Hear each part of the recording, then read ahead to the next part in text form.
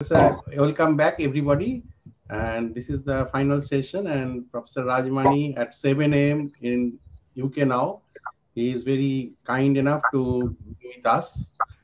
He will talk on the venous leg ulcer, keeping it simple. And Professor Rajmani is adjunct professor of Chiang Mai University, Thailand, and also advisory professor Shanghai Jiao Tong University School of Medicine, China.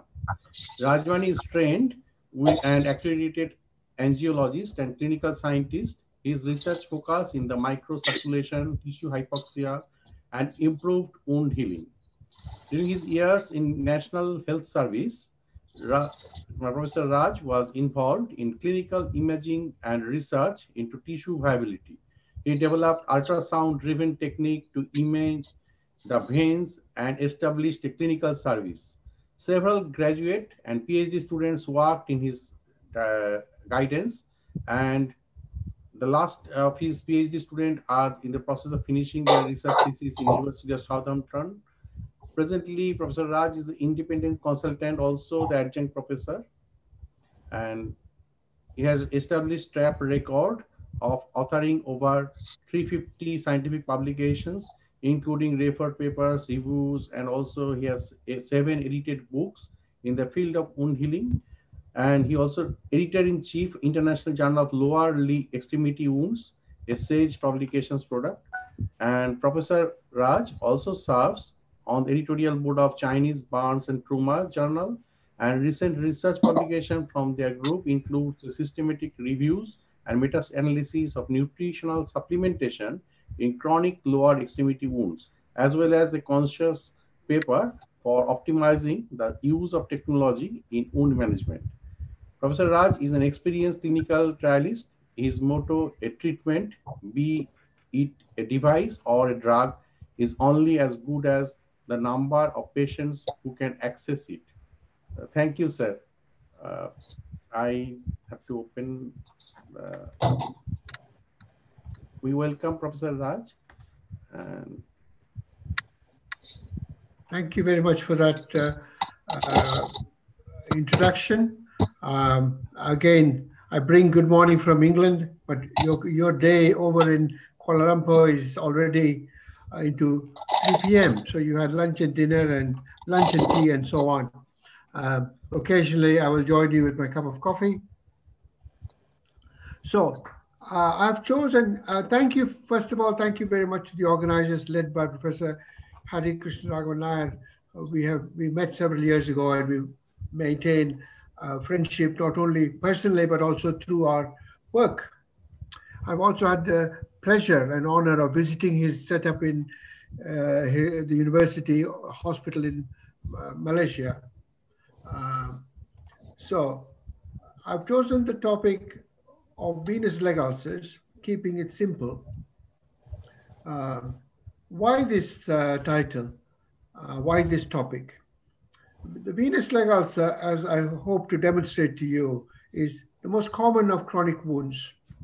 Uh, in the coming of, in the, while you all were still joining, uh, our uh, session manager, our my host, Dr. Poddar, said to me that if you compare the human uh, animal, the human mammal, to an uh, internal combustion engine, the water car, the, as it slows down, as it gets 40 years plus, the car will get chronic problems. So in the same way, the human body also gets chronic problems. So healing must, a different type of healing must be expected. Of course, that is logic. But to that, I say to you that you know, there are, if you compare the human uh, animal, the human mammal to a seeing some getting some feedback from the uh, I'm picking up some feedback. So uh, anyway, so we're going to talk about venous leg ulcers. It is the most common of chronic wounds. Uh, and I, I will draw on my um, on the evidence that's in the literature, including our uh, uh, consensus guidelines, which we published, a group of us, some three or four years ago. Uh, next slide, please. uh, Dr. Kodar. Am I changing my slides or are you?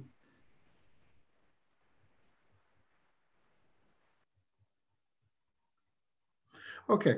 Uh, while we are waiting for this um, uh, to be sorted, yes, now we go to the next slide. Venous ulcers, I like the title venous ulcers. It used to be called varicose ulcers, which is incorrect because it's because of a problem in the deep veins or superficial veins or both. And this is the reason to call it venous ulcers. In dermatology textbooks of the past, it was referred to as gravitational ulcers, stasis ulcers, because this is a condition seen in the elderly and caused by gravitation. So I think that's descriptive, but venous ulcers is scientific and precise. This slide shows a series of pictures um, on the screen. If you can see this, it's put together by modern PowerPoint techniques. Here's a there's different types of venous ulcer, quite an extensive venous leg ulcer here. They're all the legs.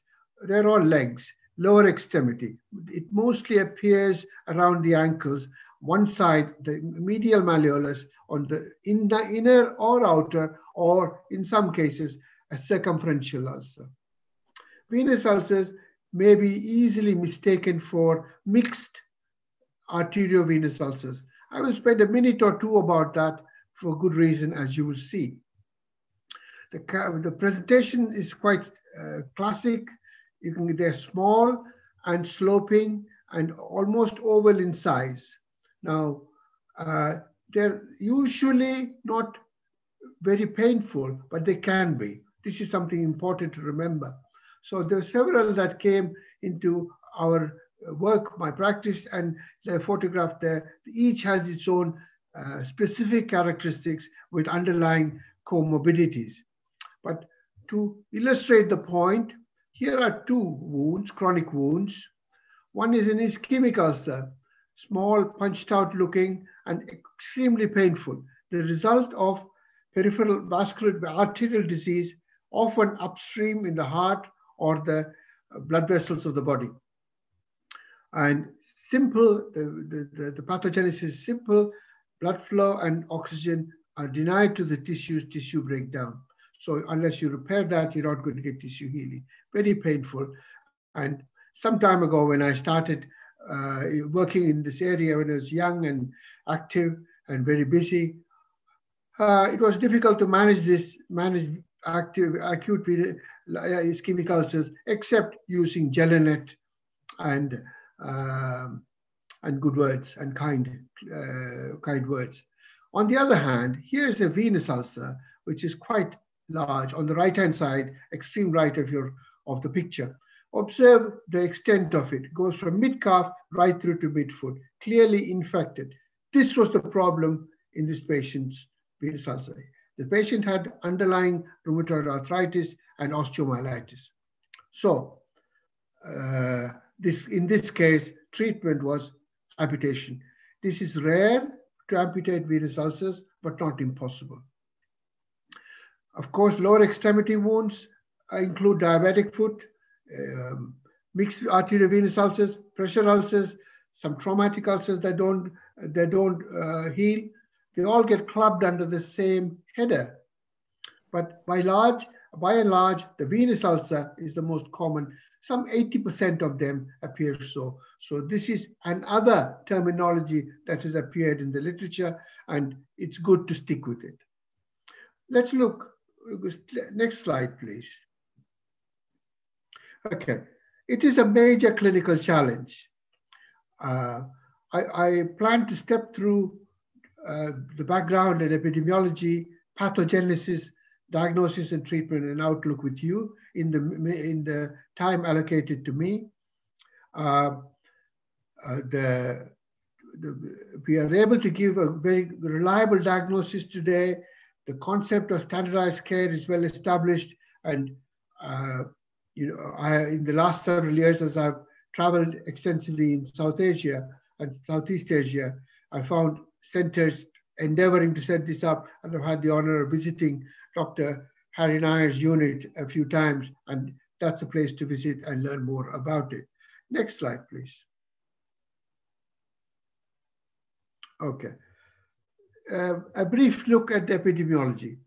Uh, the 3% of the population over 65 years of age have venous leg ulcers. This data comes from the work of uh, uh, done by the vascular surgeon when he was senior, senior registrar in, uh, in uh, Edinburgh. He subsequently moved to south of England to become a vascular consultant.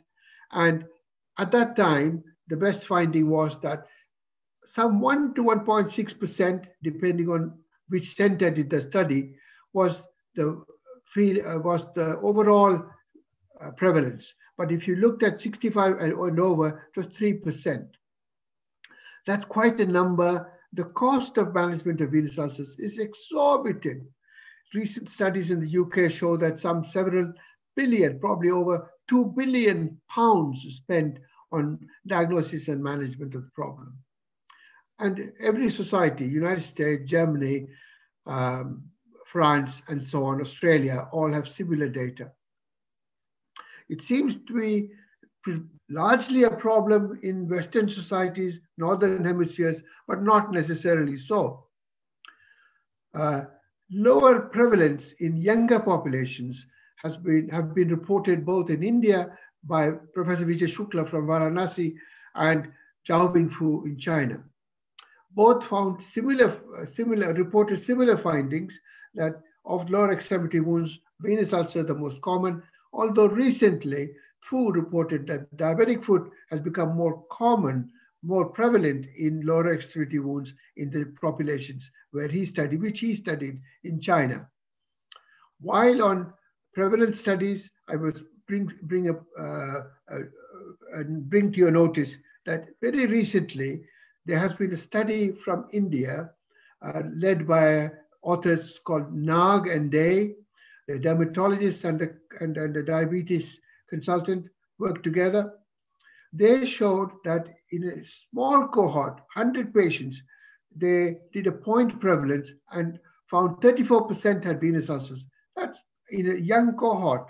This is talking between 40 and 60, which is quite, quite high compared to what we knew. Uh, then they also found that 11% of these had mixed arteriovenous ulcers. Now, what are the takeaway messages from that study? Number one, that you know, be careful with pop population studies that are done um, that are reported. You've got to examine how they se selected their cohort, and that selection is important to be able to place confidence on their findings. Secondly, uh, when I wrote to this authorship, they, they reported that their cohort were derived from the Cardiovascular Institute, where all the patients with diabetes, endocrinologists were attending their endocrinology clinic. So naturally, you are expecting a higher proportion of patients with blood flow, peripheral arterial disease, and they found it. But this could be a message to us all that 3% may be, or prevalence over 65 may be fine, but what we are seeing is that we're going to have, we may have more concomitant arterial and venous disease. This is something we have to bear in mind. More women have leg ulcers than men in the ratio 1.25 to 1. Uh, I found this when I was uh, doing my PhD many, many years ago. Terence Ryan had reported that in his work, and even before that, in the early 50s, in Steve Anning, working from Leeds, had also observed that in his monograph on leg ulcers.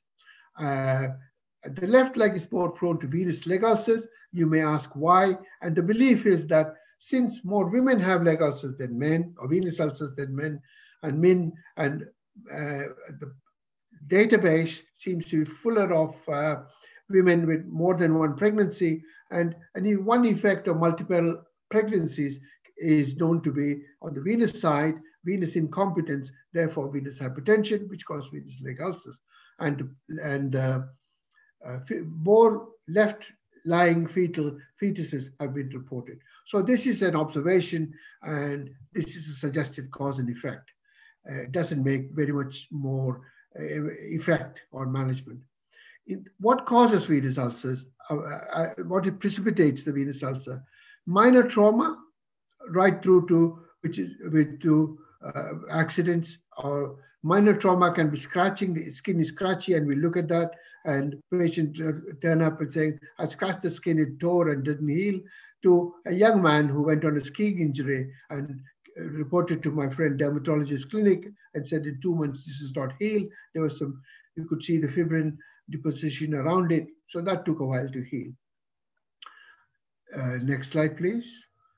As I said, it's extremely uh, expensive and difficult to get reliable healing. But the experience of so many years is that you can get a good diagnosis and put them a good pathway to heal. Next slide, please. Thank you. Uh, I trust you can see this clearly. On this slide, there are two diagrams, two sets of diagrams. If you go to the right-hand side, where I'm pulling the arrow around, um, this is a, a the, uh, the, the diagnostic presentation, uh, or the causes are deep venous insufficiency or deep venous incompetence, which results in insufficiency because the valve is rendered in, in valves in the leg are rendered incompetent due by DVT. This can also come from primary on the, on the superficial side, where patients, some patients can have congenital aplasia. This is rare but known. Um, I have come across at least two patients with that in my life's work. But nonetheless, the incompetence leads to higher pressures in the legs when you stand, and this higher pressure does not get relieved with calf muscle pump activity, ambulatory venous hypertension. This leads to venous and capillary dilatation, decreased capillary perfusion pressures, so therefore less oxygen to the skin, Endothelial function can be affected. And so when you have a population with, with diabetes, and this is what we, we face on a daily basis everywhere, you must expect perfusion pressures to be affected for this reason too. And uh, capillary permeability increases because of chronic dilatation in the on the on the venous side. So uh, that will promote edema formation and that will cause swelling. Now, in these circumstances, some work done back in the 80s uh, by Vincent Falanga, principally, who was then working in Miami. He took capillaries of ankle skin, you know, skin around the ankles where venous ulcers manifest, uh, and biopsied them and found pre-capillary fibrin to be deposited around the capillaries and suggested that this was acting as a barrier to nutritional transport and therefore this was this resulted in poor healing. Several years later, but the same decade, um, the guys from England, led by Coleridge Smith, said that white white cells tra get trapped in the microcirculation, and this cascade of events can cause uh, growth, impede capillary uh, nutritional transport across capillaries. The effects of, uh, regardless of which cause is prevalent or acting together. The fact is that the skin cha skin changes are observed. The skin becomes dry the skin, because the uh, the moisture is is uh, released. Skin gets dry and cracked. There's uh, the uh, deposition of fibrin causes lipodermatosclerosis. If you examine the leg, you can see that the leathery leathery feeling to the skin, and that is ready to crack and make, become an ulcerate. This was termed lipodermatosclerosis in the 80s and is well defined. On the left-hand side of the screen, uh, cartoons which, which uh, to explain that this is a, the venous ulcer results from macro uh, vascular problem, i.e. when there is venous incompetence causing increased venous pressure on the veins of the leg. Obviously, when we stand, it's maximal in the foot, but and since calf muscle pump function is is uh, is uh, upset, i.e., the pressure does not get reduced while walking. This persists. So we have a situation that persists. There's unrelieved uh, high venous pressure in the legs, and that is the cause of a venous leg ulcer. Next slide, please. Okay, we'll look at the diagnosis and treatment, but you've done your clinical exam and you can, the patient has told you the story and uh, what, what can we do to, to give you confidence that this is venous ulcer? This is something that's been developed for the last 30, 40 years. And so now there's good evidence and it's been adopted into guidelines. So you would do well to take it on board. I dare say some of you may already be well familiar with the literature. The first step is to eh, feel the pedal pulses if you're trained there are some physicians, young physicians these days tell me that I've not been trained to feel pedal pulses. Fair enough. In edematous legs, it's difficult to feel pedal pulses. And some 10% of males do not have a uh, uh, have a pedal pulse, cannot be, the pedal pulse on one leg may not be palpable. So objectively, you can measure ankle to brachial index to exclude ischemia. Ankle to brachial index or ABI uh, in the Europe, in Europe, in United Kingdom, we call it ABPI. Over there, I think you're more familiar with the American terminology of ABI. The measurement and the threshold should be between, if you get a pressure, ABI threshold between 0.9 and 1.2, you're dealing with a venous ulcer. This is well defined, and we'll look at that in a little more depth in a minute. The role of ultrasound using the duplex imaging technology permits measurements, and this is essential for surgical management of venous incompetence, including perforating veins. This is vital, and this is happening, I believe, especially in Asia. We'll touch on the wound, be on wound bed and how you, what, what, attention you should give it, what is pre preferred, debridement, which is an essential part of management, and compression, which is the mainstay of venous ulcer healing. This is all, this is all part of standard care. Next slide, please. Okay, this is a further look into ABI. On the right-hand side is an angiogram of the foot. Uh, I've taken the slide with permission from Giacomo Clerici, a diabetologist from Modena in Italy. He published this in the International Journal. And you can see clearly the primary, the main arteries, the posterior tibial, anterior tibial, and the peroneal arteries uh, clearly outlined in this picture. The many arteries of the leg uh, of the, and foot are clear. So go back to what we are meant to be talking about. ABPI or ABI is an index of systolic pressure in, for example, in the posterior tibial artery or the dorsalis pedis artery uh, to the systolic pressure in the forearm. This has been well described. Your patients ideally supine and obviously rested for a few minutes after walking over to your clinic.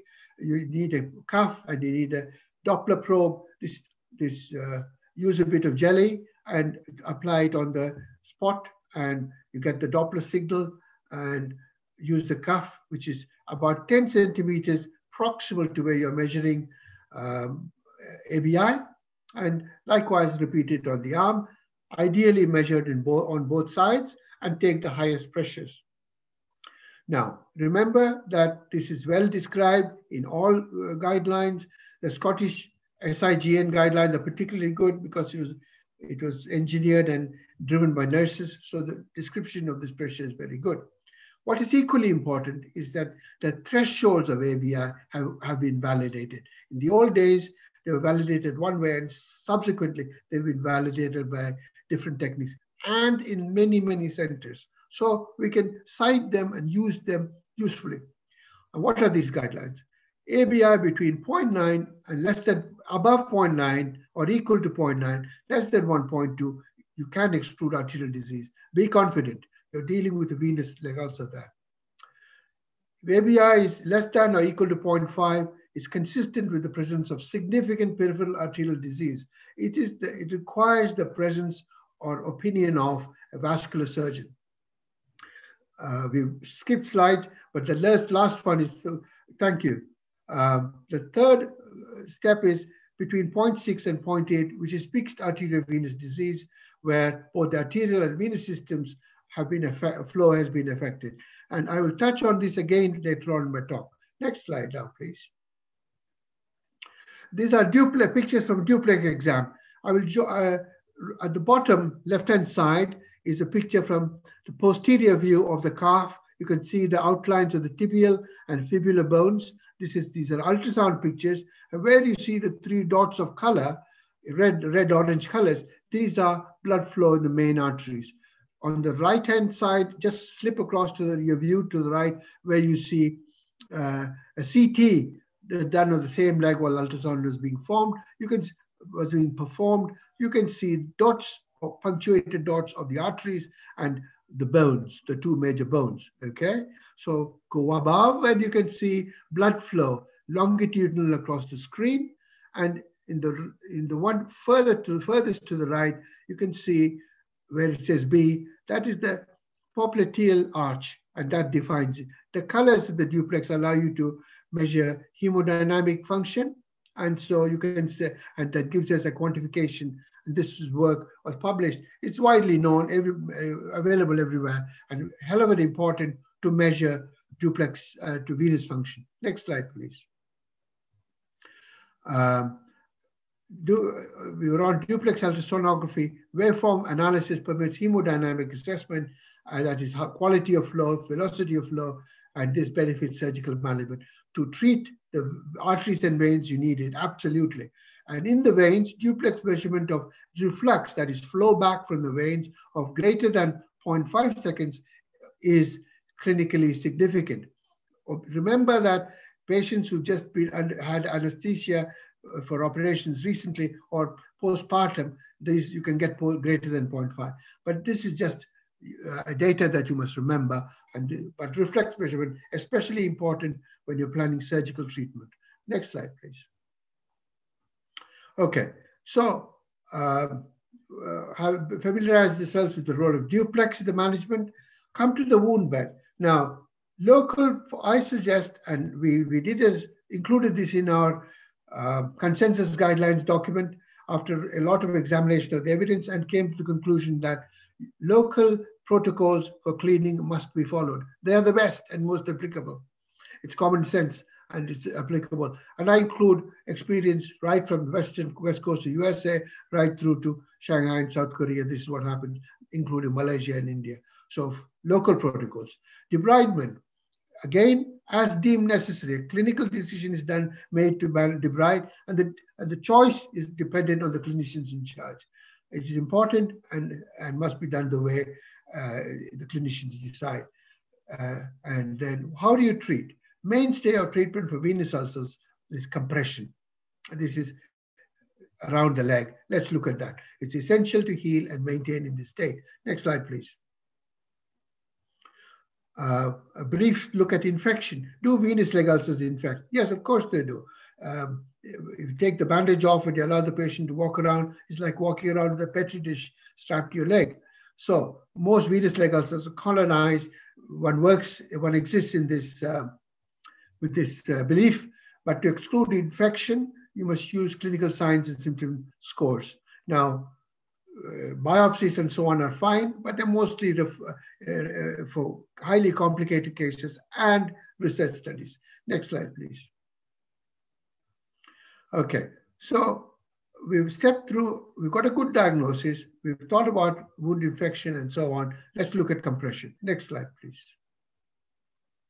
Okay, uh, this slide, this picture shows a four leg, four layer, four layer venous uh, uh, compression bandage being laid on.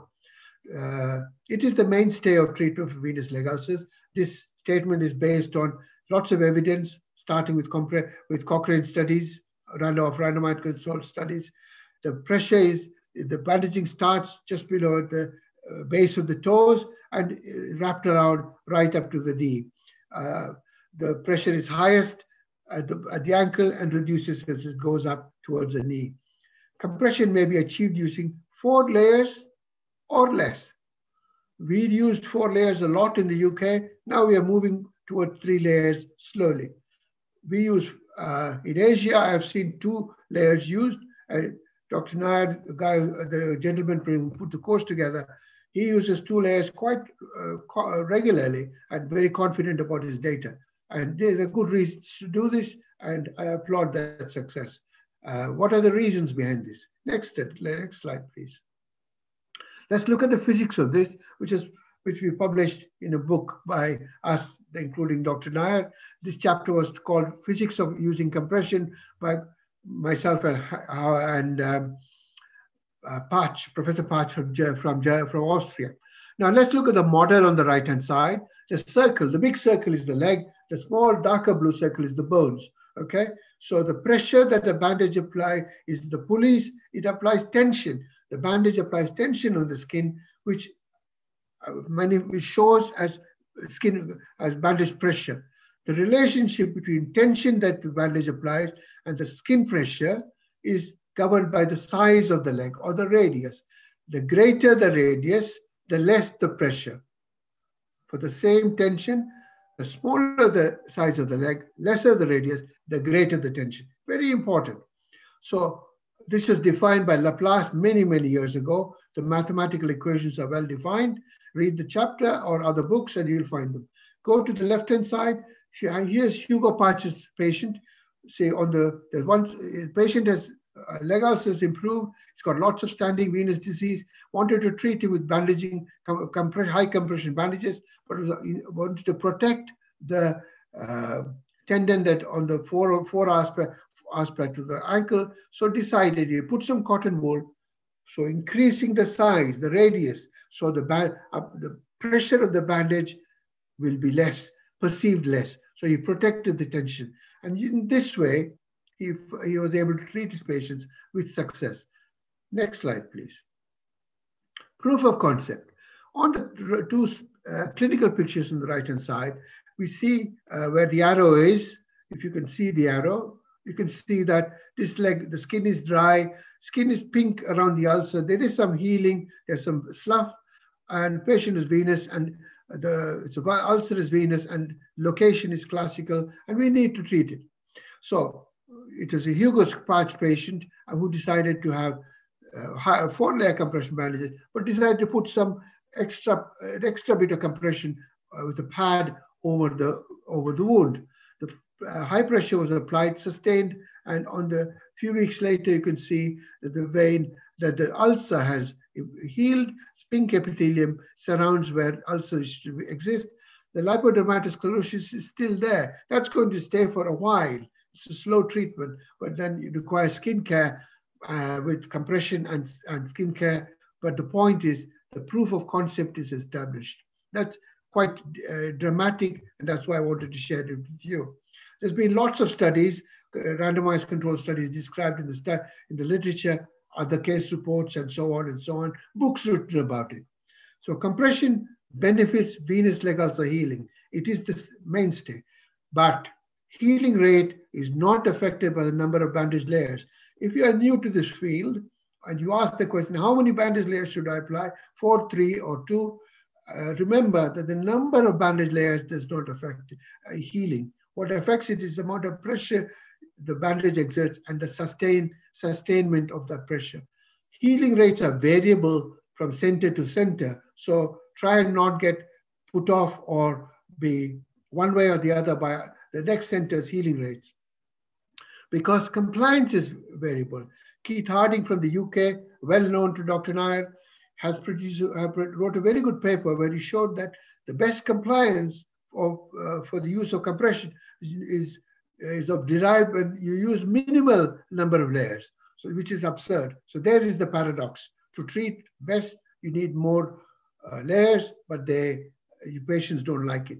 And what we found is that multi-layer bandages do not work outside Northern Europe, Australia, and USA because in envi- where the environmental temperatures and humidity are higher. For example, in India, where I go frequently in pre-lockdown days, or Malaysia, Shanghai, um, Chiang Mai, simply can't use it. So we need a new, uh, new thoughts how to best apply compression. So there's work to be done in this uh, in this uh, field, which and this is part of the clinical challenge. Next slide, please. Okay, vital to remember that venous incompetence will, will lead to edema formation. It is important to expel this edema. And so you can do that with compression bandaging or surgical management of venous incompetence. Surgical management of venous incompetence today, which, they, which is facilitated by the use of duplex imaging, they can reduce the pressure on standing by sealing these veins. Nowadays, they're doing it very well, and then it's all well described. And uh, I believe that in Asia, younger cohorts will get well treated with this, and they will have a, long ulcer healing uh, life. Uh, locate the incompetence and manage uh, with uh, surgical techniques, sealing, radio frequency, etc., and then seal the veins and then bandage for a few days and then maintain with high pressure bandaging. But on the left-hand side is a small slide from a commercial uh, product, which is available in Asia, I'm sure, where which allows you to adjust the tension. Remember, I said that the tension you apply with bandaging is what determines the pressure on the skin. So this allows you to adjust the tension. So uh, we found that two days after a patient gets bandaging, within, within four hours, in fact, a lot of edema is, is, is lost. So the tension needs to be adjusted. And so herein lies the trick.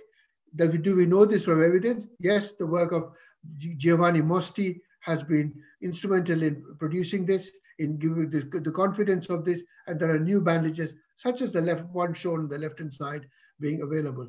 And it comes to me that Hugo Partsch is, is very well known for his work in this field. Uh, a dermatologist from Austria. I believe your university is setting up a link to work with Austria. So I do hope all of you will come across Hugo Partsch and benefit from his wisdom. Next slide, please. Uh, here is a device called FlowAid 100, uh, which compresses using a slightly different technique, sequential contraction compression device. On the left-hand side, you can see the four electrodes on the leg. The pulse from the machine goes around and squeezes and compresses the calf muscles and blood flow is expelled. And use it carefully as a defined, you can get good ulcer healing. There are some clinical uh, studies shown on the right-hand side. Venous ulcer of long-standing duration got, uh, when treated with this FlowAid device produced healing. Likewise, a heel ulcer also benefited from the use of this healing. The point is this, that it offers a different type of healing. Patients benefit from being able to use it at home. And we have experience of a study done on patients with diabetic neuropathy and peripheral arterial disease in Viswanathan's unit in Chennai, Madras, India, Chennai, India, and which shows that on those patients, it promoted blood flow and oxygenation to skin. A study is being completed in the famous Hari, Harinayar unit in Malaysia, and we look forward to seeing the data, and all of you will benefit from learning about that. So this device and the other bandages and so on offer us a new paradigm and surgical management, a new paradigm for the treat for offering compression. Next slide, please. So um, we, we have got a good feeling on how to treat compression. What about pain? Remember, when the first text, the textbook of vascular surgery by Norman Browse, Professor Sir Norman Browse from St. Charing Cross, uh, sorry, from St. Thomas, he said, venous ulcer is not usually painful. And the nurse in the clinic, when she saw me with that textbook, just blew her mind off. I blew her mind and said, look, this is crazy. I think they've got pain. So it went through my head for years till Vijay Shukla sat down and defined it for our consensus guideline. First of all, determine its wound pain and then manage it. There is wound pain, but that, so the message is ulcers, venous ulcers can be painful. Determine its wound pain and then determine how you manage it best. Next slide, please. Now, a word of caution. I've showed you a slide titled venous leg ulcers. The left, one on the left is quite clearly an infected venous ulcer around the ankle area, very large and quite uh, demonstrative. I used it for that purpose. On the right-hand side, just look at that ulcer. Look at the leg before you can look at the wound. The leathery, dark brown, pigmented leg, uh, pigmented skin. If you look, and it is the ankle. If you look carefully, you can see the welt of edema, which results from the compression bandaging. But look at the shape of the ulcer. It's, it's circular as, a, as an ischemic ulcer looks. Now, the story is simple. The patient had a venous ulcer on the other leg for which he was being managed. And UK, in the UK, when it comes to summer, a lot of patients disappear from the clinic. They don't have a problem. Uh, that was the case when I was a young uh, medic. And they'd come back to the clinic after September saying, Dr. Malsa broke down. So he came back this time with an ulcer on the, on the other leg, which looked different. So we investigated and found had a mixed, mixed disease uh, with an ABPI of 0.6. Of course, you must not compress it. So we didn't know what to do till some guidelines began to suggest you when you establish mixed pathology, mixed arteriovenous pathology, you may give a degree of compression.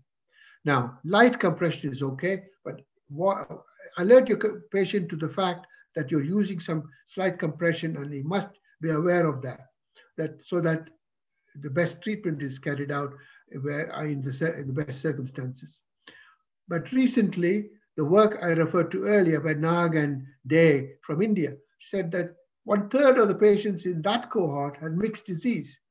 So treatment is different there. So you've got to be careful in your practice remember to isolate any arterial disease. They may be present.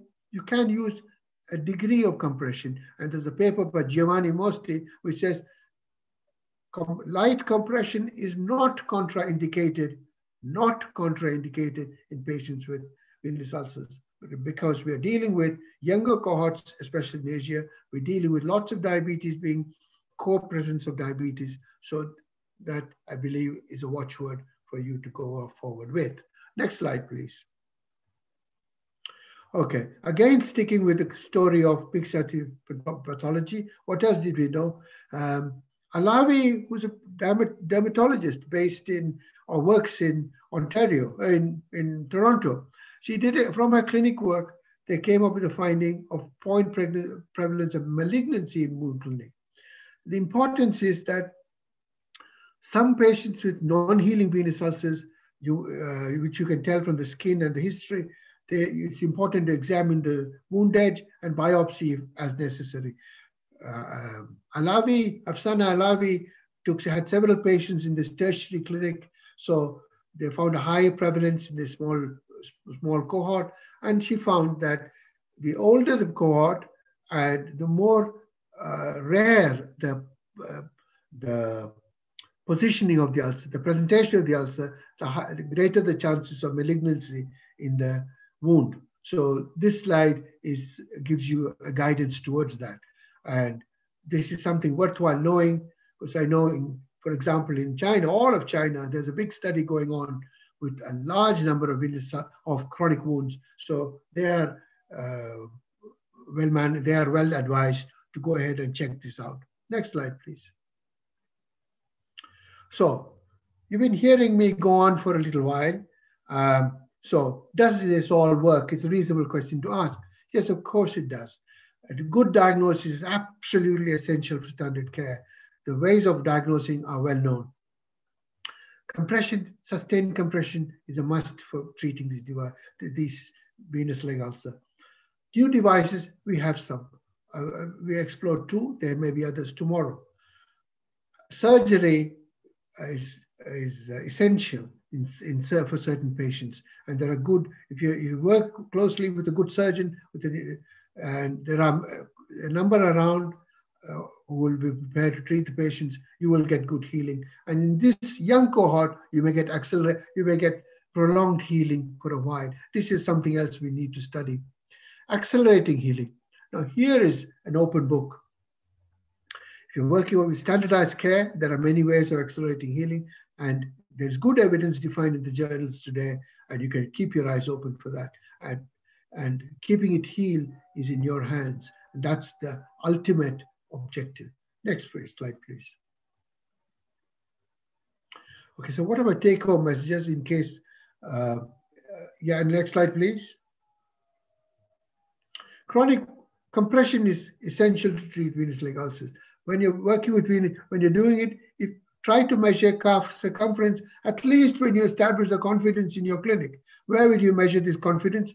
at the point in the calf where the circumference is highest. It's termed B1 in the guidelines. And Hugo Partsch, who I believe you all will work with, is uh, the one who has pushed this uh, work through based on his research. Measure calf circumference. If you want to measure pressure under bandages. There are two two techniques, pressure bandage, pressure measurement techniques that are available. One in Europe and one in Australia, but you can access them in in uh, Malaysia. And the second message, which I will enforce, is that when you know it's arteriovenous disease pathology, mild compression is possible. And when you come across uh, the, in the literature, you'll say sustained compression, multi-layer compression. Don't worry, two, three, four layers. It will not affect. It's the pressure you apply. It will not affect the, uh, the healing rate. It's the pressure you apply, and as the edema escapes from the leg, the tension must be uh, must be maintained. Next slide, please. So I mentioned the consensus guideline. This goes back to several years ago, at least four, four or five years ago. And all of us uh, in this slide uh, shown from, from the right-hand side is Marco Romanelli, who I believe has visited Malaysia, Akita, Theo, Phailanga, Vijay Shukla, of course, and Dr. Nair works closely with him, and, uh, and many others. Uh, we work together to derive this uh, consensus guidelines. It's well described in the literature, and I recommend it to you for, for reading. Next, next slide, please. So these are some papers. There will be other papers. Uh, we also wrote a book and in which Dr. Nair made an invaluable, uh, to which Dr. Nair made an invaluable contribution with his, his evidence, but also with his, with his knowledge of, and as an editor. Uh, it gives you a feeling to go on. There are a lot of journals these days that describe this. So it's up to you to read, uh, digest, distill, and synthesize, put the data together and use it to your best uh, practice. So that's the end of our presentation. And I've sent you two questions for the question answers. And thank you very much for being so patient with me.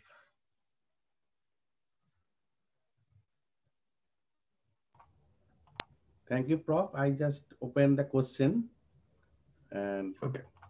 we share just one minute.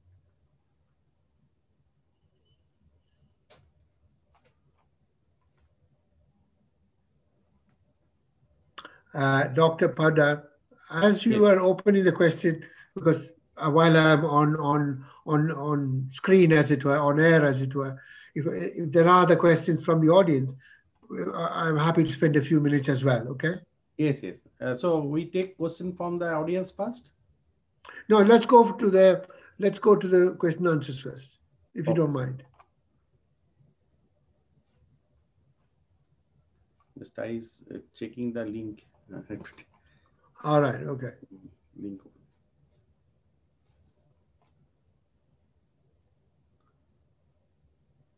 Very slow moving and moving. Yeah. But remember, when I first came to England from India, it used to take nearly 30 hours or, or more. So in my lifetime, there have been many changes there. Maybe we should, uh, how are you doing with that? Uh, no, the survey link I want to take. The link not opening yet.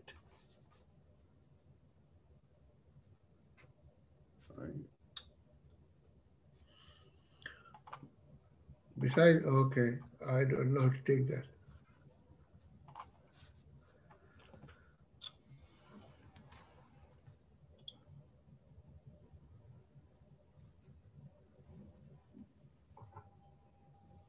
We're not opening It's not opening? Uh, moving, sir.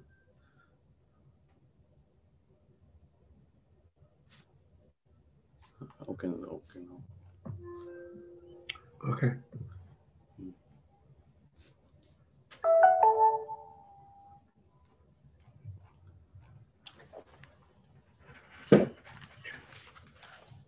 I don't know if uh, the audience can see.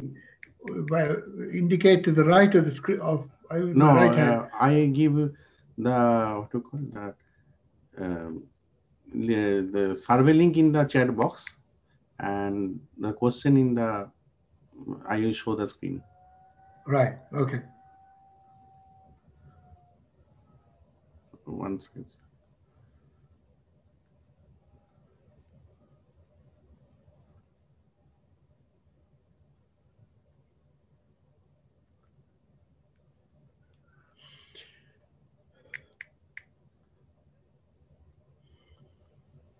Sorry, it is. There.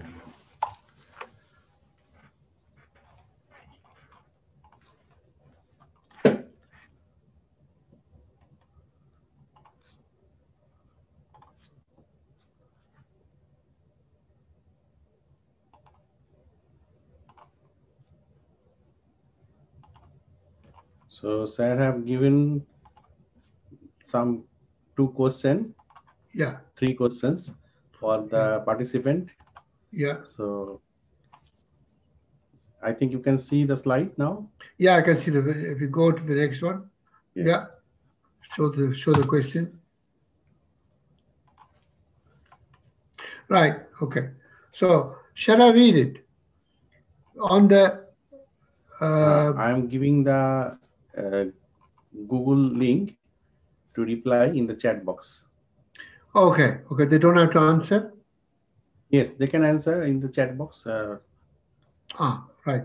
So I'm. uh, Should I look in the chat box? no, I am giving the link, and if they want, they can speak also. So you want as you want. Okay. No, no, I'm okay. So the first question is, what ankle brachial index would Okay, okay. So one minute. Uh. Yes. Oh yeah, okay. This is all above beyond me. I can't cope with this. I would need to lie down. No, sir. Okay. I also just learned because for the COVID, we have to learn this. Yeah. so, sir, uh, all participant, uh, you see the question and sir have prepared and the Google form I have sent in the chat box. You check the multiple answer is there. You can reply in that form. Yeah. Just Yeah. open and reply in the form. Then I open the answer. So Question can see? Everybody can see the question?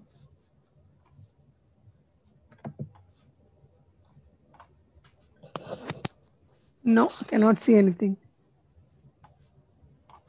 Question not seen? No,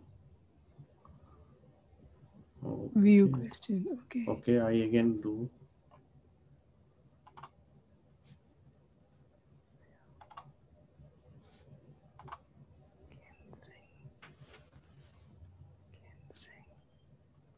okay. Can see now? Yeah, can see. Okay.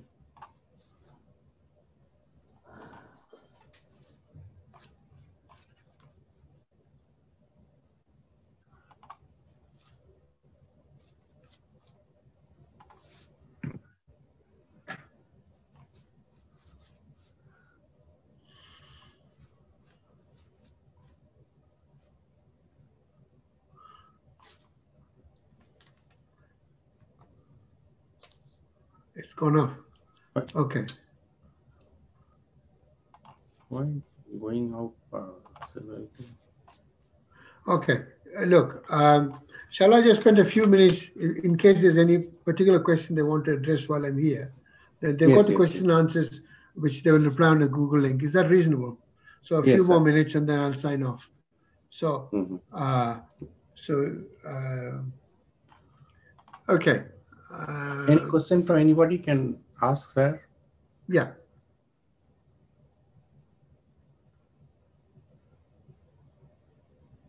Kindly unmute and ask anybody. Dr. Ken have put question in the chat box.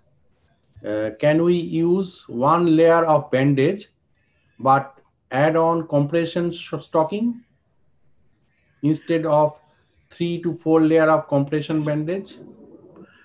Well, the answer is yes, because it adds up as two layers. So the, the first layer, it's it you have to think about the first layer that goes next to the on, skin. What the so its properties. So you give some, it holds down the uh, wound dressing and and its qualities, and then you use the second layer. But we used we made the same we made a mistake 40 years or so ago when I was starting. Uh, we used to use something called tubic, tubic gauze in UK.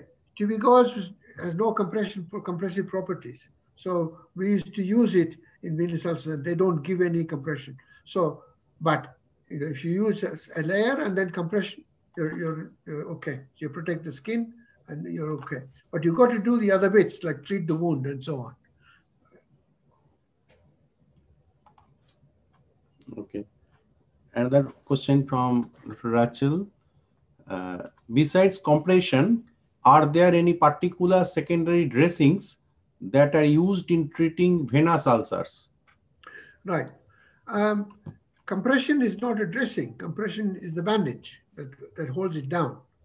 Uh, but uh, I don't want to confuse the participant by saying sometimes you can put pressure on the wound itself, extra pressure. That's underneath the bandage. But a wound dressing, there are literally thousands of wound dressings with some simple like Jelonet, which is just a gauze with Vaseline, and some very complicated, you know, bio, um, today's bio, biological dressings. There's a huge range of biological dressings, all widely described in literature. Both, they all coexist. Uh, each has a degree of, or bring something to the healing process. Um, the best guidance you can get today is that the wound dressing must be selected to, to match the stage of healing the wound is at. Okay, it may be hydrocolloid or it may be something more specific and so on. So sometimes you may have a, in fact, a wound, wound you're not happy with the stage of colonization, infection, etc. You may want to use a silver dressing. So that is how you manipulate that. But you won't, that is the balance of using dressings. Okay. Dr. Ken, again, at which point we should use vacuum dressing that create negative pressure? Oh. Well, vacuum, this is the, okay, my first comment is that the vacuum is not a dressing, but the way the it has been treated by the regulatory authorities, it's become a dressing. Vacuum, vac technology is to clean the wound and prepare the wound bed for healing. Of course, it drains the extra uh, fluid in the leg and uh, the tissues and makes it ready for treatment. So, uh, at what point should you use it? Uh, once you've debrided, check that whether there's a need for debridement. And once you've answered that question, if you want to uh, treat, treat the tissues, uh, go ahead and use vacuum again, is a, uh, the use of VAC and NPWT, different names, same technique, widely available, well described in many, many papers and randomized controlled studies and books. Okay, Dr. Ken. So next question from Dr. Khadija. Prof, how we want to know that the pressure that we apply via compression bandage are enough? Ah, I think what you mean is is not more than the patient can bear. I think that is what the question is. Uh, uh, bandages, when you use the bandages, there is a guidance. You must pull, wrap around and pull to its maximum. Wrap around, pull to its maximum. The bandage itself has got diagrams to show that you have pulled it to its maximum tension. That is as far as using the bandage is concerned.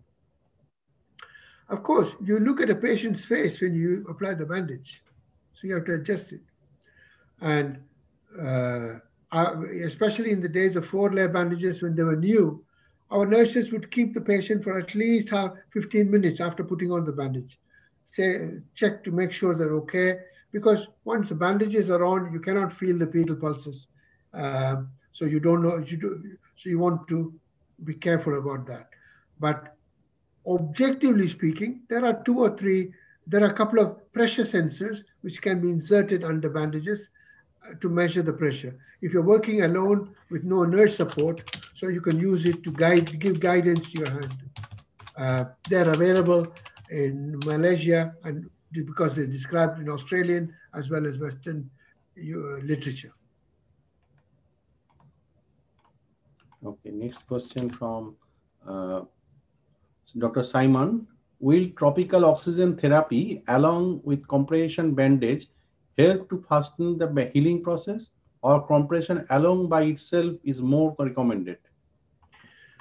Well, there is no, I mean, topical oxygen has been around for a number of years. And I worked with the inventor to, to modify the, the delivery of the, of the topical oxygen. Now I know there's a dressing going around. Uh, first and foremost, the answer is that a comparative study of the role of this dressing plus compression versus compression on has not yet been done. There may be one in process, uh, but I'm not at liberty to discuss, to mention, to talk more about that. Uh, we will see it in the literature. But in certain cases, uh, uh topical oxygen, the oxygen has been described in, from case reports to be beneficial. Uh, we need more evidence to understand and how to select the patient. We believe that under the dressing, there is extra oxygen, partial pressure of oxygen increases. But how to select the patients is something we're waiting for. And I, I, I, the studies that are now current, uh, I think uh, Professor Hari is one of the guys who's working on that. And we may be able, from his study, he'll be able to tell us more. Okay, sir. So another two question. Do you, Professor Hamui asks that, do you recommend island grafting is to shorten the healing time in addition to the bandage? Well, uh, you'd have to select the patient and the plastic surgeon as well. I suspect the questionnaire is a, maybe, is the questionnaire a surgeon? Yes. Prof is here. Okay, you can ask, Prof, unmute yourself. Okay. Are you a surgeon, sir? Yes, sir. Yes, yes, yes. I'm okay. a surgeon, uh, general and vascular surgeon also. And I, I used to do that just for large venous ulcers that takes long time to heal. So I would like to hear your view about it. First and foremost is that the uh, evidence-based gui guideline comparing the role of island uh, grafts versus compression therapy don't exist. But uh, let me give you a little bit of, uh, of evidence from the old days, and that by that I mean 19 early, early 1980s. Those days, grafts, pinch grafts were done by dermatologists. And nowadays, it's almost exclusively island grafts that are done by plastic surgeons. I, pinch grafts used to fail. And the reason it failed was that these patients had perforating veins. Uh, for your audience, perforating veins connect skin with deep vessel. It's meant to go one way, blood goes from the skin into the deep vein.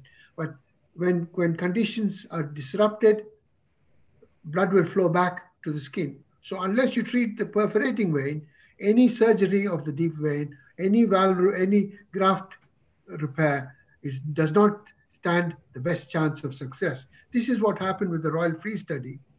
And dermatologists have virtually stopped doing pinch grafting over in Western countries. But come, the question is about island dressing, which surgeons apply by all means, and especially with big ulcers. I think there is a role for it.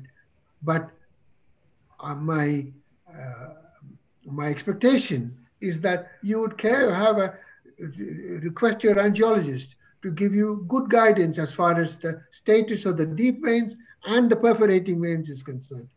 And if you have a leg where the pressure is uh, retrograde pressure is maintained following surgery, great. You know, you may get uh, long-lasting healing. That would be a paper I'd like to read in future. Thank you. Okay, Prof. And another question is there. Prof, may you share how to make patient complaint to compression bandage as in Malaysia the weather is hot and also she asks that if suitable for venous ulcer leg wound, we do split skin graft. If yes, how the outcome? Means okay. uh, when the suitable time we want to do the split skin graft.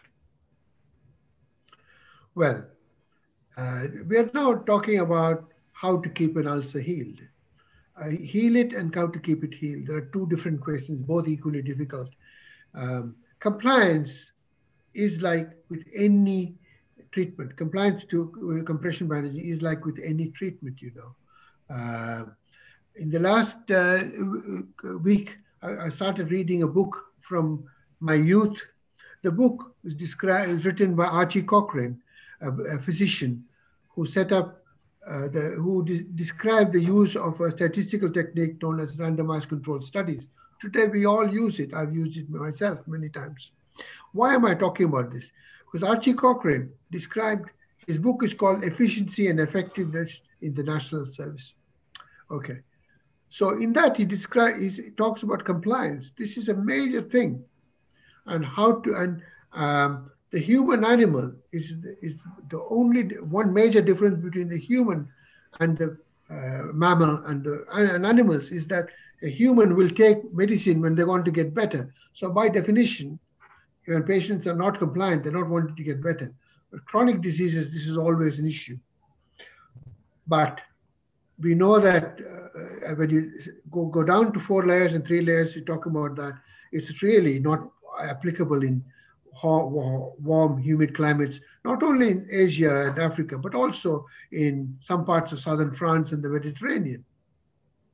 So the options, today you have options. First of all, the evidence is use two layers if necessary and try, try your patients two layers and demonstrate that it works better. Encourage them, those who can be mobile, encourage them to be mobile. And one trick, when I first met Hari Nair several years ago, um, I asked him, uh, how does he manage to get his patients to, uh, you know, cope with less layers and uh, manage? He said, that's easy. I get them to come back to the clinic. I order them to come back to the clinic. So obviously he succeeds with that. So that the, the attention they get from the doctor, he may not be there every week because clearly he is in many countries at all times except during lockdown.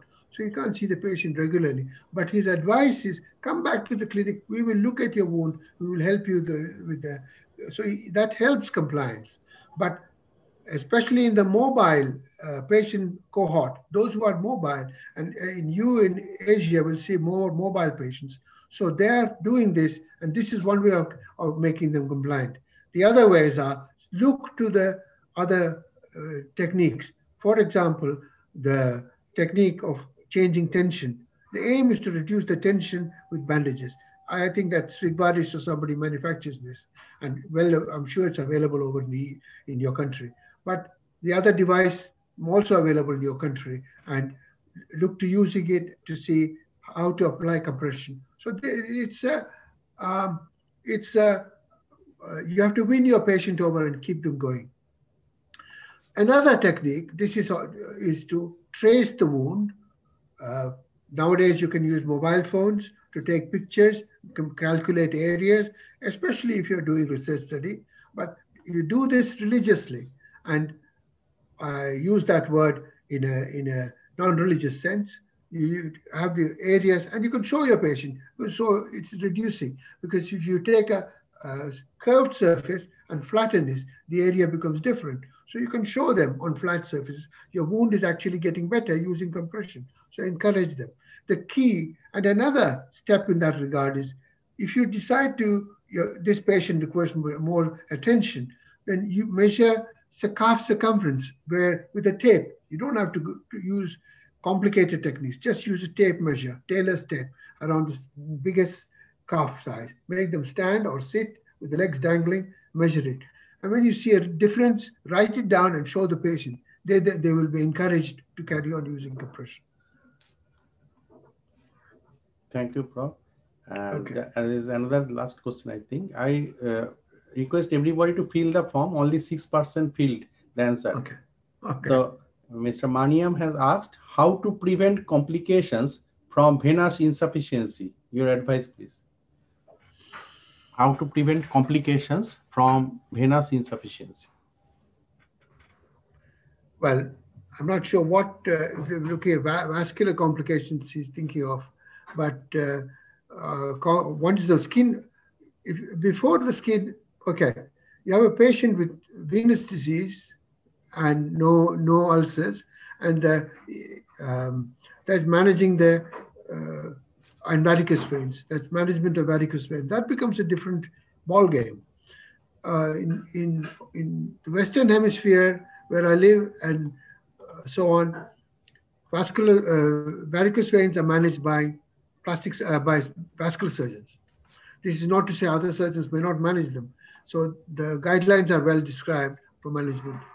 And today they can seal off the high pressure, the veins which are incompetent, causing leaks of blood flow down to the leg. You seal those veins and the pressure goes down. So a complication which is dry skin and needs some form of emollient or even some something more strong like hydrocortisone may be necessary to get this quality of skin better and that's that's a complication uh, and so that manage that and try and do without an ulcer but once you got it and a leg ulcer it becomes important that, that you got compression to manage it so in the things like injections to treat blowouts and things are quite rare but done uh, occasionally.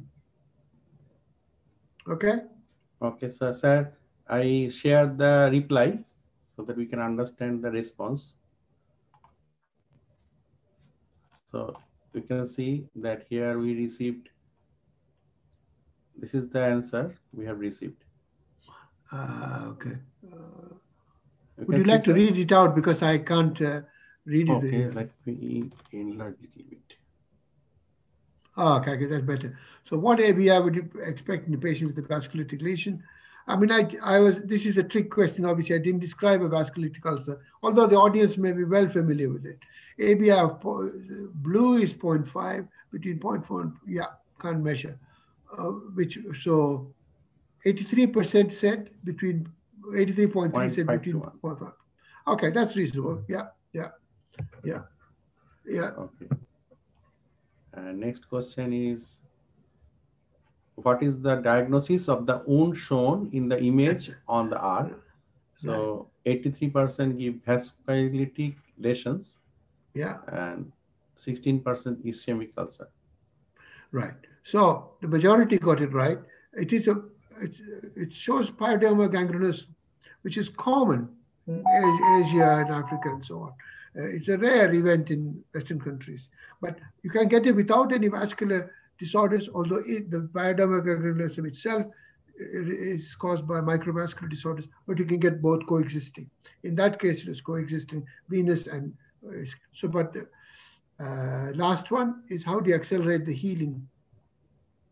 So the greatest everybody, to, everybody to deliver compression to suit the needs. Very good. Well done. You're working with a good leader. Dr. Hari is a good, uh, uh, great wound healer. So, and he's doing well. Okay. Okay, so any more question for anybody?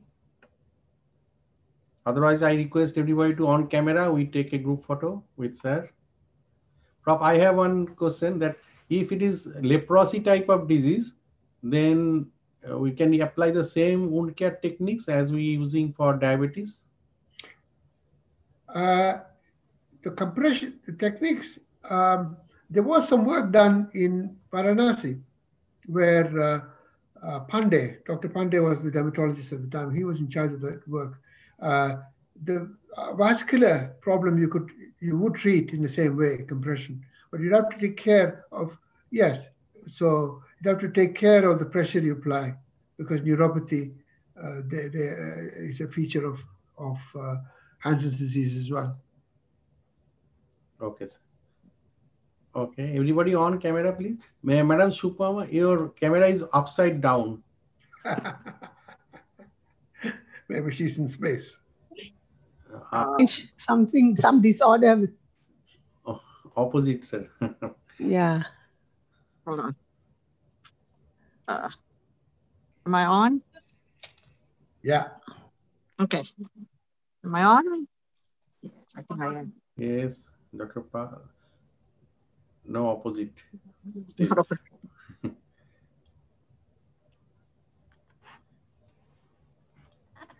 okay, I think everybody on almost. Ready?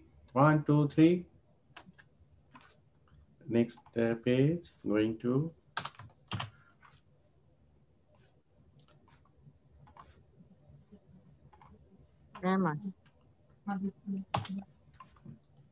Okay, done. Okay. Okay. Well, thank you all very much. I wish you very well. And I look forward to uh, interacting with you guys at some stage or other. And to, my, to Professor Hari, Hari will catch up sometime. Yep. Take care, Raj. Thank you. Thank you, Prof. Thank you. Thank you. Bye. Bye. Bye. Everybody have a good day. Thank you. Thank you. I want to listen from everybody. Any uh, comment on you? If Prof left also, no problem. If a Prof busy, can leave. But you can ta- share your experience that what you learned and what you're thinking, what you want to do after this workshop, move forward. Your opinion. Uh, you're asking me, sorry. No, yes, yes, everybody, Prof, uh, all participant. I can ask by one by one. I think it's a, it's a good workshop. Uh, it overviewed uh, a very common problem here in Malaysia. And I'm sure the attendants, uh, you know, uh, I, I wouldn't say learned a lot, but at least uh, they refreshed their knowledge about the wound management. So I, I, would presume it's very helpful. Thank you very much, Dr. Sandy. Thank you, Prof. Hamui. Okay, now Dr. Khadija. Uh, Dr. Sandy, I just want to ask, uh, uh, actually, when the, exactly the course uh, that will be held for diploma in wounds in Lincoln University College? So, Yes, uh, we applied, so we will uh, get soon. As soon as get, I will inform all of you. Within this year, we should start able to, but we are not uh, sure that how uh, fast we can get approval because the lockdown etc. going on. But we hope that, uh, madam, that we can start by this year. We'll inform. yeah, thank you. Thank you. And Mr. Miss uh, Madam Shupama. Yeah, I was just about to say, since uh, this is a workshop concerns uh, team work, team nursing, I was wondering if uh, some something on some nurses' work or some, you know, paper on nursing would have been very interesting. Would have been able to share with us. Thank you. okay. Actually, the next webinar, what do you call this, we'll be getting some of the uh, nursing professors coming in, like Professor Karen Ousey from UK and all that. So we will have uh, what do you call this, a different range of them. Oh, okay. That'll be good. Thank you. We are working on that, madam. Uh, Dr. Hari, we will do, madam. Thank you. Okay. Thank you. Thank you. Uh, Dr. Chan.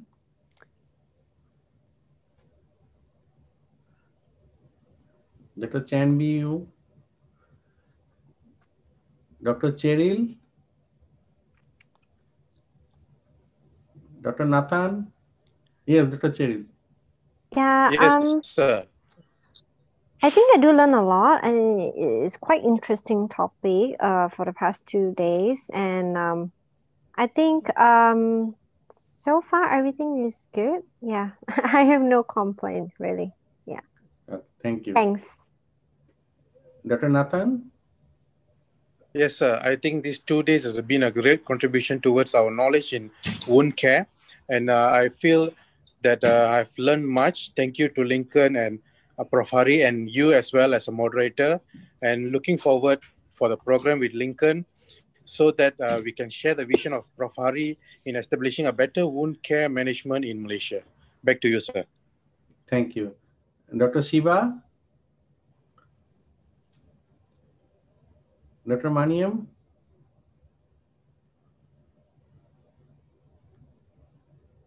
Uh, mute, unmute, sir. I'm a student of Prof. Wali, eh? Prof. Wali from University Lincoln, Kota Baru. eh. Uh, to me, it's a really valuable knowledge. lah.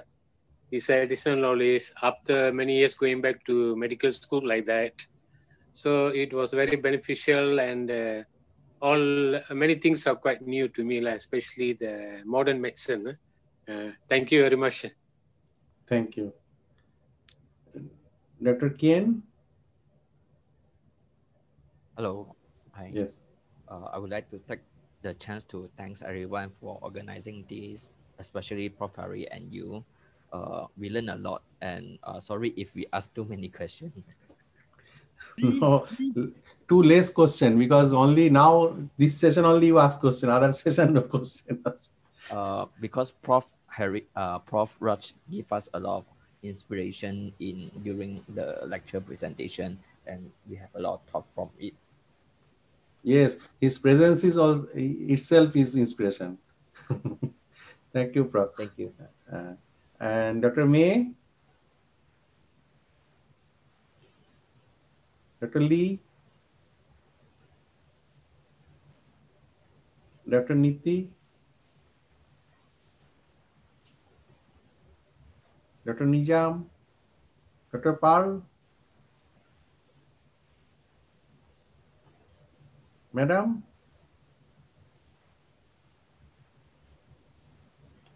Madam Sabrina?